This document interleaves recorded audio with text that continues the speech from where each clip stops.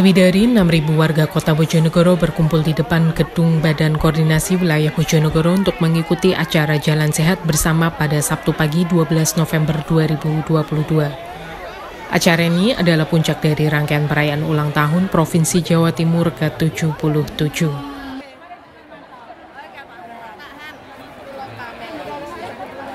Sebelumnya, perayaan ulang tahun dimulai pada Jumat 10 November lalu, tepat pada perayaan Hari Pahlawan.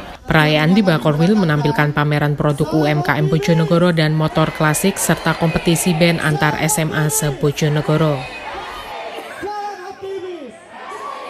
Acara Jalan Sehat dimulai sekitar pukul 7 pagi dengan pelepasan peserta oleh Bupati Bojonegoro Anamo Awanah dan Kepala Bakorwil Bojonegoro Agung Subagio.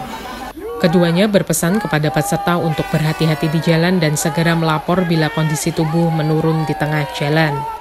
Selain melepas peserta, keduanya bersama Forkopimda juga turut mengikuti kegiatan Jalan Sehat.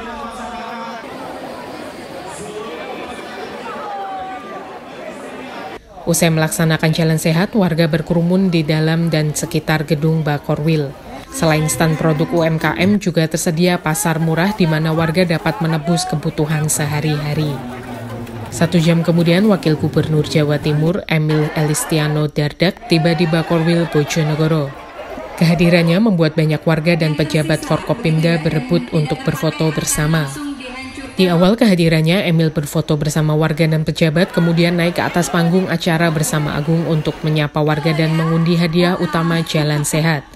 Selain mengambil dan membacakan undian, Emil juga menyerahkan langsung hadiah utama kepada pemenang. Jangan MC-nya Bapak Honda Scoopy saja ya. Coba bergeser ke tengah sama Pak Emil. Wih, senang Mbak. Gimana rasanya? Senang. Acara dilanjutkan dengan pemberian bantuan kepada masyarakat Bojonegoro. Bantuan yang diberikan beragam dan diperuntukkan berbagai kalangan, mulai dari bantuan sembako, subsidi upah, dan zakat produktif, hingga tambahan makanan dan vitamin untuk anak usia dini dan sarana ekonomi kelompok perhutanan. Dalam laporannya kepada Emil, Agung mengatakan dari 10.000 kupon undian yang dicetak oleh panitia, 6.000 di antaranya diklaim oleh peserta jalan sehat dan sisanya langsung dimusnahkan. Selain itu, bantuan diberikan di antaranya zakat produktif bagi 12 pelaku usaha mikro dan 100 unit traktor dan kendaraan roda 3 untuk kelompok petani perhutanan. Agung juga mengapresiasi antusiasme masyarakat dalam merayakan Hari Jadi Jawa Timur. Sementara itu, Emil berharap agar bantuan yang diberikan dapat digunakan sebaik-baiknya.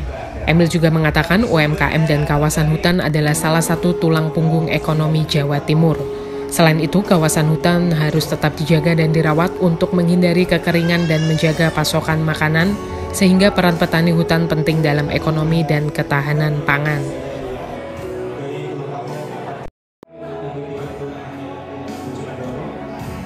Emil, Agung, dan jajaran Forkopimda menyerahkan bantuan zakat produktif, makanan dan vitamin anak usia dini dan sarana kelompok perhutanan secara simbolis. Setelahnya, Emil langsung bertolak kembali ke Surabaya, sementara bantuan lain dibagikan langsung kepada masyarakat.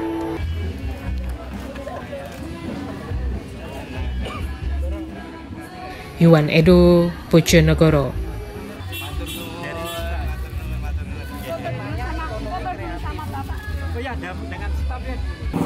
Sukses ramaikan dan juga kembangkan. Selalu Assalamualaikum warahmatullahi wabarakatuh